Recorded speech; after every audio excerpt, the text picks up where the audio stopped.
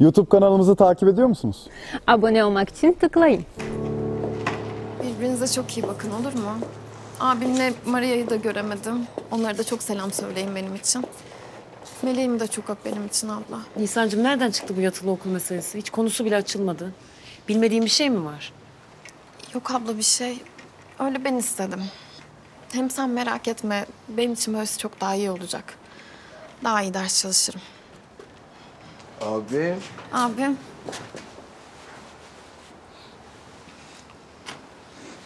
İyi de insan bir önden haber verir. Bu ne böyle dönem ortası sürgüne gider gibi yatılı okul? Öyle bir anda oldu abi ya. Böyle karar verdim bir anda. Yengecim. Yengecim vallahi hiçbir şey anlamadım ben.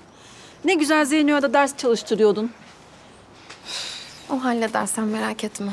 Ben hallederim anneciğim. Uzakta daha mutlu olacaksa gitsin tabii.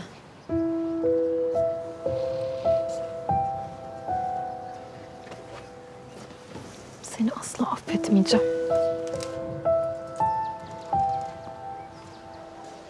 Nisan, sen isteyerek gittiğine emin misin? Dokunsam ağlayacak gibisin. Ben karar verdim. Benim kararım. Yanlış bir şey mi yaptı baba? Hayır böyle ceza verir gibi yollanmaz ki. Sana fikrini soran oldu mu? Ha?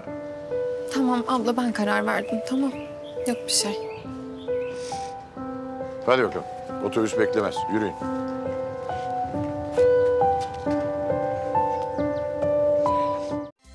ATV kanalına abone olun, hiçbir şeyi kaçırmayın.